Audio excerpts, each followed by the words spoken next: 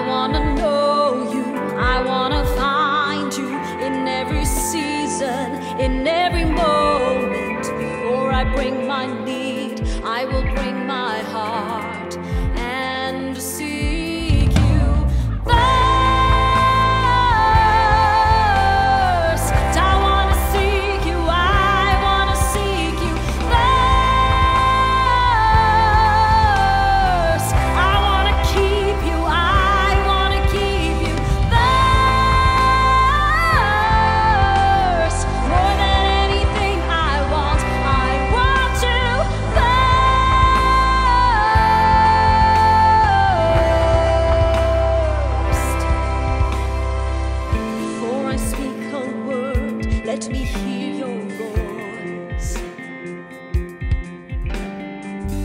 And in the midst of pain, let me feel your joy.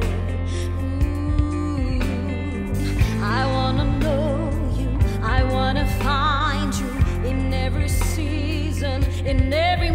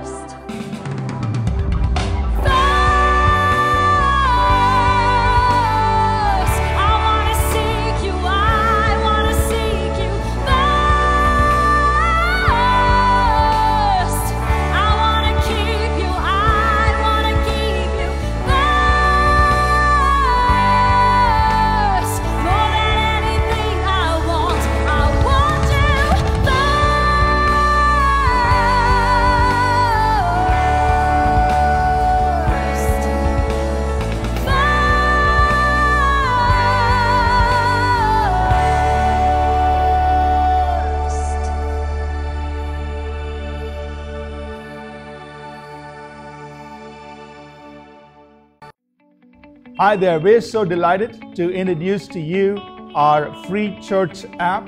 Uh, this app is loaded with features and resources that will greatly enrich your life. So head out to the app or Google Play stores, search for All People's Church Bangalore, and download the app right now. It's going to greatly enrich your journey with God.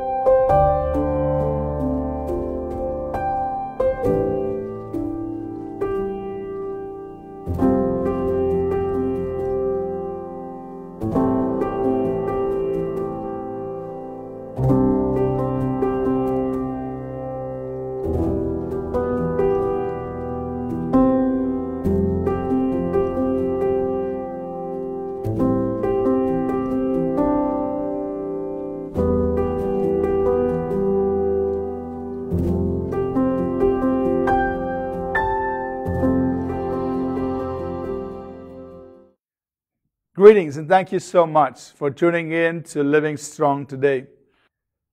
It's a joy to come your way as we begin uh, the new year and uh, spend some time with you in the Word of God and also pray with you. The book of Psalms, collection of Psalms written several hundred years ago, around uh, several of them written by King David and uh, others who were there ministering in the tabernacle of David are a collection of songs uh, that were used in worship, in praise, that were used to express prayer, and even just express feelings, emotions that uh, individuals were going through at that time and pour, pour out, enable them to pour out their heart towards God. Now, there is one particular psalm which we could very well say is the most favorite psalm. Uh, if you would ask people, uh, Christians, believers around the world, you know, which one psalm would you uh, be able to recite, which you uh, feel speaks to you um, uh, uh, deeply, that, that you hold as a favorite psalm, it is very likely that most people would point to Psalm 23. And so, on the program today, we would like to just spend some time looking at Psalm 23 and just meditating in it and drawing some insights from that psalm. As I mentioned, it's probably a very uh, well known psalm, a favorite psalm, and so you probably are very familiar with it. Probably could recite that psalm uh, without even look turning into your Bible. But it's always good to remind ourselves of scriptures and of the word that we are familiar with, just to bring it back put it in front of us, look at it once again, draw insight, draw strength, draw encouragement from the Word of God. And that's what we're going to do uh, as we go through Psalm 23. Let's read the psalm through together. Psalm 23, a psalm of David. The Lord is my shepherd, I shall not want. He makes me to lie down in green pastures. He leads me beside the still waters. He restores my soul. He leads me in the paths of righteousness for his name's sake. Yea, though I walk through the valley of the shadow of death, I will fear no evil. For you are with me. Your rod and your staff, they comfort me. You prepare a table before me in the presence of my enemies. You anoint my head with oil, my cup runs over. Surely goodness and mercy shall follow me all the days of my life, and I will dwell in the house of the Lord forever. This psalm was written by King David, and most of us are aware of his origins, how he started out as a young shepherd boy taking care of his father's sheep, and he spent several of his early years being a shepherd and being a good shepherd, doing well at that, protecting the sheep from uh, the lion, the bear, taking the sheep out, you know, every day to graze in the pastures, bring them back, and doing whatever a shepherd would do to take care of the sheep and nurture it and feed it and so on. So David had that personal understanding of being a shepherd and a personal understanding of what a shepherd would do for the sheep that he was responsible for. Now, of course, uh, being a shepherd was a common profession, a means of livelihood in those days. Many, many people uh, uh, were familiar with that uh, profession and taking care of the sheep. And that term shepherd in those days was also used for any leader, was used even for to refer to the king as a shepherd. But here it is so interesting that David would now attribute that characteristic of that profession, of that vocation, if you will, to God Himself, as he begins by saying, The Lord is my shepherd. Key things there the Lord, Elohim, God Almighty, the great God, Creator God, Almighty God, the eternal God. God is my, now making it very personal, my shepherd. That means He takes care of me the same way a shepherd would take care of a sheep. And David understood the, the, the importance of that relationship. And so, for you and I today, uh, while we may not be as familiar with shepherding and taking care of a sheep the way David was, uh, having first-hand experience in that, yet for us to recognize Almighty God as our shepherd, somebody who relates to us that way, who takes care of us, who's personally interested in each one of his sheep. So David coins one of the Jehovah titles here as he calls God Jehovah Rohi, the Lord my shepherd. And this truth is seen uh, in several other places in Scripture. For instance, in Psalm 95, verses 6 and 7, uh, the psalmist there says, Oh, come, let us worship and bow down. Let us kneel before the Lord our Maker. He is our God, and we are the people of his pasture, the sheep of his hand. Once again, drawing the picture of God, who is our Maker, who is our God, and He's also our shepherd, and we are His sheep. In Isaiah 40, in verse 11, the prophet Isaiah says, He will feed His flock like a shepherd. He will gather the lamb, lambs with His arm and carry them in His bosom and gently lead those who are with the young. God dealing with His people as a shepherd would do so with His sheep, lovingly, tenderly, caring, protecting, nurturing, that's the way God deals with his people. And that's the way God deals with you and me. God is your shepherd. A shepherd never mistreats. He never uh, uh, uh, is, uh, you know, hurtful towards his sheep, but he's loving. He gently carries them in his bosom. He gently leads those who are with the young. That's how God is for you and me. And because God is my shepherd, then David uh, derives several things that God does for us that we, as a sheep of his pasture, that we can experience knowing that God is our shepherd. So he says, The Lord is my shepherd, I shall not want. I will not be in lack. The shepherd is not going to let his sheep starve. The shepherd is not going to abandon his sheep. The shepherd is not going to deprive the sheep of what it needs. The, therefore, he says, I have this confident assurance that I will not be in lack. God is my shepherd. He's going to make sure that all that I have need of is provided for, whether it's food, whether it's healing for wounds, whether it's care, comfort, provision, protection, guidance, direction. God provides for me.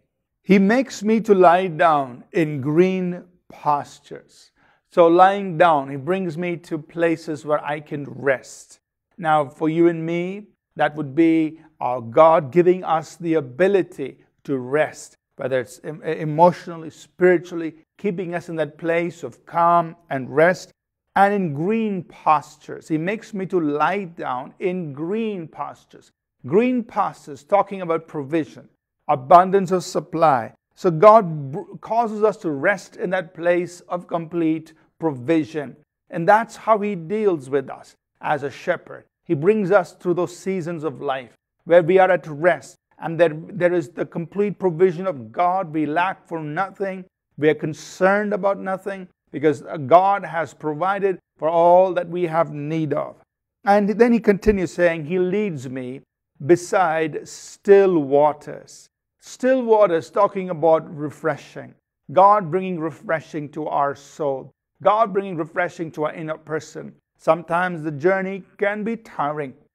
Sometimes the journey can be uh, in the in the hot sun. It, it can be uh, enervating. It can be uh, it could leave drain us of some of our energy. And so He brings us to those still waters where there is quietness and there is refreshing for our soul. And He restores my soul in bringing renewing, bringing reviving to our inner person. Now that's very important. Uh, um, that's, that verse there. He restores our soul. Verse 3 that God brings renewing to our emotional person you know, in our journey through life. There could be so many things that hurt, harm, and do damage to our soul, our emotional person. But here, our good shepherd, our shepherd, he brings healing, he brings restoration, he brings renewing and wholeness back to our emotional person, our soul. He restores my soul. And David continues He leads me in paths of righteousness for his name's sake. So here is a picture of a shepherd leading his sheep. The sheep are following him. There's one thing the sheep know that the shepherd is going to lead them down the right path for them. And the sheep rest in that. Similarly, you and I, as we follow our shepherd, the Lord our shepherd, we can rest assured that he leads us in paths of righteousness paths that are right, right before God. So if there is a path that, that you feel inclined to take, but it is not the path of righteousness, if it involves unrighteousness in any way, or any manner or fashion, you can be assured that that's not the path the shepherd is leading you down. Because the shepherd always leads us in the paths of righteousness.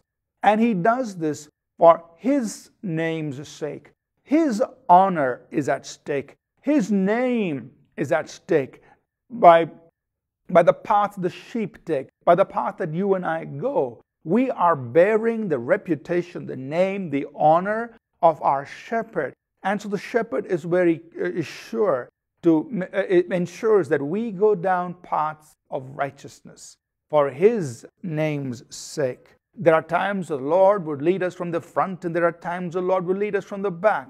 Whether He is saying, You go ahead, that's the path I've prepared for you, or whether He is up in front saying, Follow me as I go forward, regardless of how the leading is, we know it is always in paths of righteousness for His name's sake. And then David continues, Yea, though I walk through the valley of the shadow of death. Now, the valley of the shadow of death. So here's the picture of a shepherd having to lead the sheep through the valley.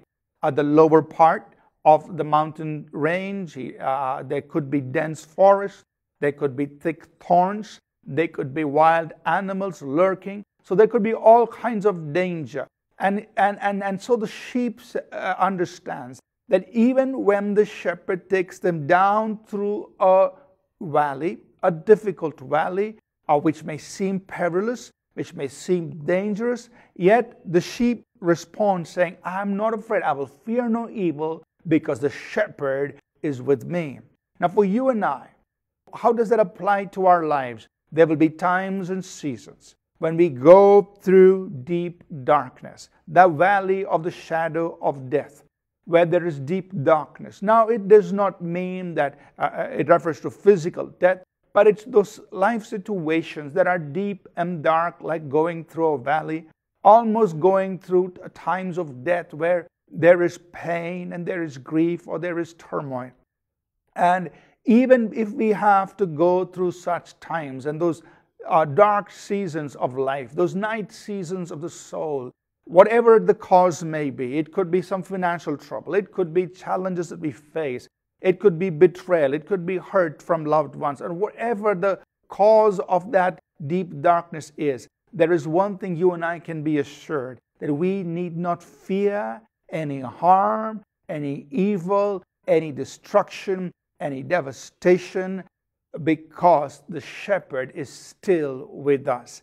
He is right there leading us through that valley. And He knows how to get us through that, bring us out on the other side of that deep darkness. And as we go through that valley, David says, Your rod and your staff, they comfort me. So the shepherd carries, to, carries probably one uh, piece or, or, one stick, or maybe he carried two the rod and the staff. The rod is to guard, and the staff is to guide the sheep. And so the, the sheep rest assured that the shepherd is carrying his rod, which serves to guard the sheep and serves to guide the sheep. So the sheep look at the shepherd. The shepherd is very present there. He is there with them as they're going through the valley. But the shepherd also is carrying a rod. He has the power, the means, the ability to guide the sheep, keep them off from going off the path in those, in those uh, ravens. And he has the ability to protect the sheep from any uh, lurking danger, from any wild animal that may seem, that may, uh, that could possibly attack the sheep. So the sheep take comfort in that. And so you, you and I can also rest in this that God is more than able to guide us correctly through the dark season, and God is more than able to guard us through the dark season of our lives. He will protect us so that our lives are not brought to ruin. He will keep us safe through it. And then he says, after this, what does he expect? What does he anticipate? He says, You prepare a table before me in the presence of my enemies. Now, there seems to be a little shift from God being a shepherd to God being a host. That's one way of looking at it. Or if you continue with that same thought of God being our shepherd, here you see that God, the, the shepherd, bringing the sheep to a place of abundance, a place of uh, celebration, even in the midst of lurking danger, in the midst of enemies. God will prepare a table for you in the presence of the very threats that seem to destroy your life. That means in the presence of enemies, whatever those enemies were, whether, whether they were demonic opposition, demonic works, whether it was harmful people, dangerous people, whatever it was, right before them, God is going to cause you to celebrate. God is going to put His honor on you. He's going to spread a table for you in the presence of your enemies. And He says, You anoint my head with oil the oil typifying the work of the Holy Spirit that brings healing, that brings uh, uh, re- refreshing, uh, that brings strength. He anoints my head with oil. There is a welcoming in the very presence of God. There's a healing balm that uh, brings healing to the wounds that we may have. And he, he is bountiful to us, He is generous to us. He fills our cup, not just half, not just to the brim, but to the overflowing. My cup overflows. So here is God, my shepherd. He causes me, He celebrates me in the presence of the enemy. He brings healing, He brings strength, He brings renewing by anointing our head with oil. And then He deals so bountifully, so lavishly with us that He causes our cup to overflow. That is what God does for each one of His sheep. And then David concludes the psalm by saying, I have this confidence I have this assurance. I know this for sure. He says, Surely goodness and mercy will follow me all the days of my life. What an amazing uh, truth. What an amazing confidence to have that because God is my shepherd, there is goodness and mercy that He keeps aside for me throughout my life.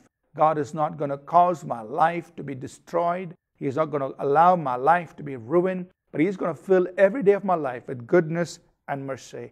And here is the hope we have I will dwell in the house of the Lord forever. Once this life is over, I know where I'm going because He's the shepherd of my soul, not just here in time, but even when time runs out, even when time is over and I depart from this world, I know where I'm going. I'm going to be with my shepherd. I will dwell in the house of the Lord forever. What a powerful psalm. As you and I continue in our journey through life, what an assurance to know that the Lord is our shepherd, and He is our good shepherd, and He will deal as a good shepherd with His sheep. God is your good shepherd. You are the sheep of His pasture. He will never let you down. All that a shepherd will do for his sheep, God is faithful to do it for your life. Stay fixed with your eyes on your shepherd. He is true to you. Let's pray together before we close. Father, we just thank you that you are our shepherd. And I pray for each person watching, God, that right now, that as a shepherd, that you will touch their lives. God, if there are people Lord, who need healing in their, in their minds or in their bodies. As a good shepherd who anoints his sheep with oil, who restores the soul of his sheep right now, let your healing power flow through them. I take authority over every work of the devil that has affected their minds or their bodies or their emotions. I break it off their lives and in the name of Jesus, our good shepherd, the great shepherd of, our, of the sheep, I release his healing power to you. Be made whole in your mind, in your body, be healed, be restored, be made whole in the name of Jesus. Now receive that healing. Thank God for it. Thank Him that He is your shepherd. Thank Him that He's faithful to you, that He will lead you through green pastures, beside still waters.